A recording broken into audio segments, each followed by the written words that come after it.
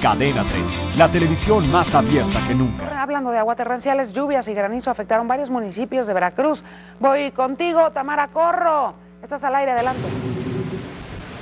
¿Qué tal, Yuri? Muy buenas tardes. Efectivamente, el Frente Frío número 43 ya dejó severas afectaciones en el estado de Veracruz debido a que tan solo en el municipio de Atzalán, ubicado en el norte del estado, se registraron cinco muertes debido a la creciente de un río que arrastró a un taxi donde iban a bordo tres personas y una camioneta donde iban a bordo dos. También se habla de una niña desaparecida, no se ha confirmado de qué municipio, y de una persona ahogada en el municipio de Medellín de Bravo. Además, por la noche se registró una fuerte granizada en el municipio de Ixtazoquitlán, donde se registraron 15 viviendas afectadas, donde vivían 50 familias, y es por ello que ya se activó el plan Tajín, el plan de emergencia para auxiliar a los afectados. Cabe mencionar que en el resto del estado continúan las lluvias de más de 150 milímetros y 80 kilómetros de rachas de viento y se mantienen suspendidas las clases. Por lo pronto en mi reporte estaremos al pendiente, rezamos contigo al estudio. Muy buenas tardes. Gracias Tamara Corro desde Veracruz, estamos al pendiente.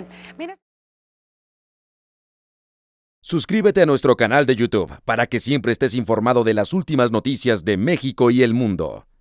Empieza ahora mismo dándole clic a estos videos.